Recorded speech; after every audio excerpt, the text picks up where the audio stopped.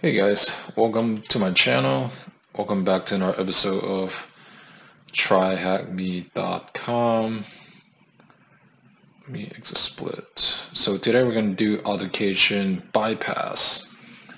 So last episode we did a subdomain enumeration, still part of the web fundamentals path. So I will reset it, start the machine, and let me show split view. So as always, guys, uh, please read uh, all the tasks to get basic fundamental understanding what this is all about. So today we're learning about how to defeat logins and other authentication mechanism to allow you access to unpermitted areas. So it's basic hacking. So task one, brief. You just need to start the machine, complete. Then task two, user enumeration and it talks about what's the username start with SI, username start with username starting with RO. So as you read through this task, it talks about how to break into this customer sign up. So first thing you do is open the terminal. And first thing it does have this command, it breaks it down for you with this dash W dash xd. It, might look foreign to you right now, but as you get more practice, you get you will get comfortable. So first, just copy and paste the clipboard, this command, and just paste this. So it's a W directory, username, fuzz, email, password, password, H dash H is content type, then links to the website, customer sign in, user name or you logged in. So, so since I'm using a attack box, it's already the FFUF tool and the word list already come pre-installed. If you have your own uh, Linux, you will have to create a, a new text. So the answer questions below. What are the username? As it runs through, as you can see, there's three username, Robert, Simon, and Steve. So SI, Simon, Steve, ST, Steve, and last one, RO, is Robert. It's all right here. All right. Let's go task three, brute force. Now before doing task three, it says right here, the last sentence, create a file called valid usernames.txt and add the username you found using FU. I'm just gonna call it FUF. This will be used in task three. So to create a test file, nano, use nano valid user names dot. All right. So you have Simon, Steve, Robert. Then control X, it says, do you want to save this? Y for yes. And then press enter for the file name you click root right here, the file exists right here. So, all right, task three, and talks about brute force attack. And here's another command. You just need to copy and paste this for now. And it just talks about W directory and then username D H content type, and U is URL. So FC is argument, status code other than 200. All right, copy and paste. And there you go. So the question, answer question below was the valid username and password, format username and password. So is Steve Thunder. Awesome. Then task four, logic flaw. So this is another way bypassing using logic flaw. So you can read through this to get understanding. So this is to reset the password, right? So this is practical. Let's copy and paste this. All right, let's open up Firefox.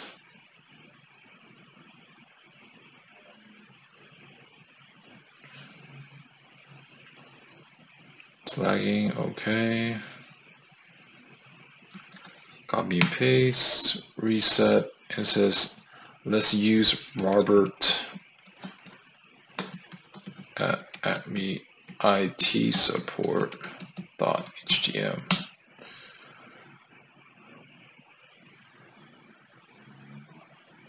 Check username.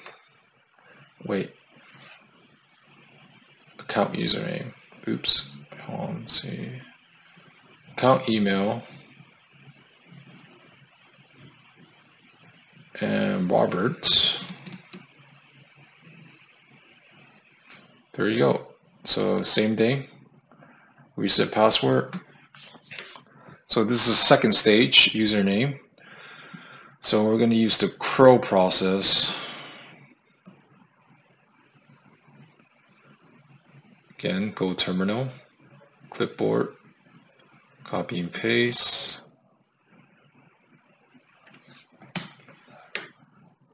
Uh, this looks like a web page.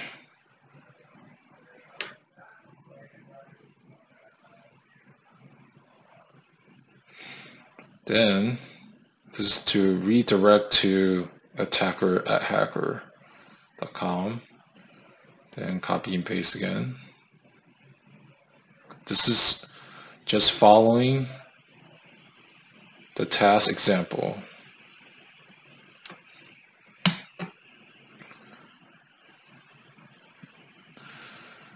And then as you reduce as for next step you need to create account.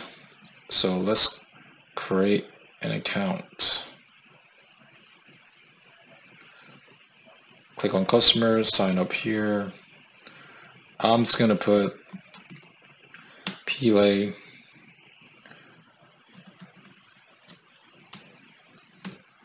uh,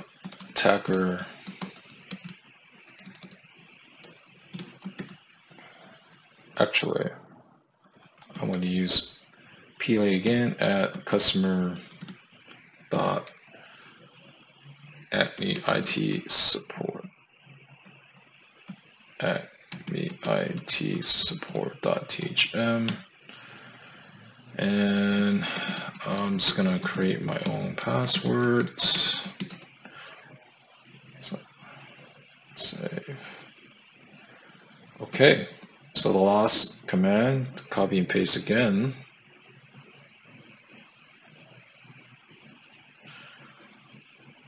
Now, when you copy and paste this one, it says crow with your AppMe support account.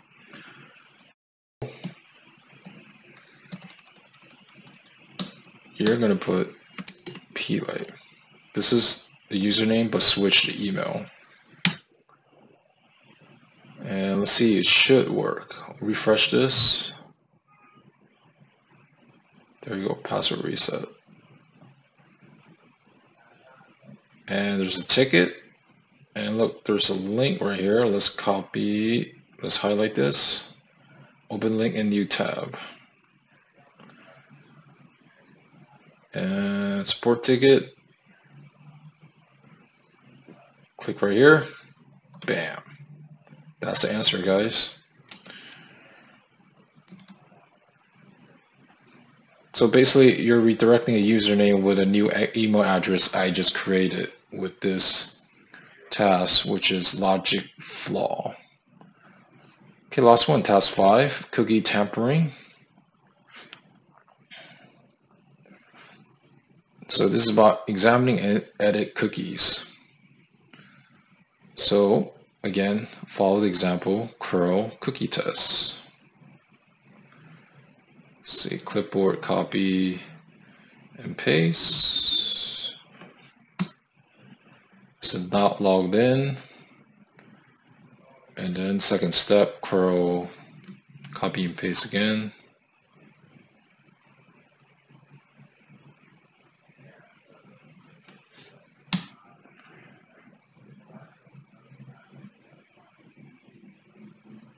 And we're given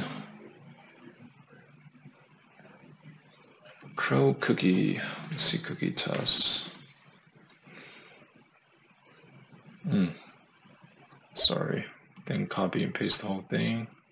Let's try again. Copy and paste. Oops.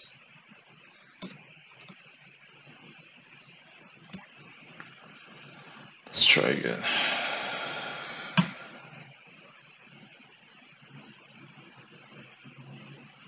Okay, never mind.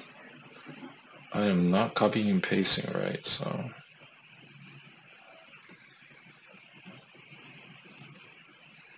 Let's try this again. Okay, login as user. And last one, copy and paste. So not login, login, then login as admin. There you go, guys. That's how you get this answer. Talks about hashing and encoding. So the question is, what's the flag from changing the plain text cookie values? Got that. And says, what is the value at MD5 hash of this one? And says, hint, crackstation.net will help. Let's open this copy and paste. Not a robot, crack hash. And the value is 463729. Correct? Awesome. And then what's the base 64 decode value of the string hint base64decode.org. Oops. I should have My bad. New tab. Let's close this out. And let's highlight this 64. Whenever you see a, a equal sign, usually it's a base 64 that. So you just copy and paste and decode. And there you go. And last one, encode the following value using base 64 parentheses id admin true. Hit again encode you can use you can go to that website or just click encode right here. And copy and paste encode and that should be the answer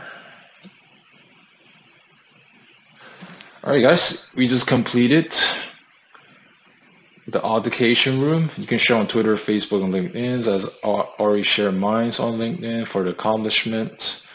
And if you like this video, guys, please give us thumbs up, subscribe button, hit the notification button. I'm trying to upload all the videos that I completed Monday, Wednesday, and Friday, or sometimes just Monday and Friday, or Wednesday and Friday. So uh, depending on how much time I have. And I hope you find this video helpful, guys. Um, just as you know, I do not have IT experience. This is just something I like to do on my own free time. And I do have a subscription to tryhackme.com, which is about $90 to $100 uh, for a yearly subscription.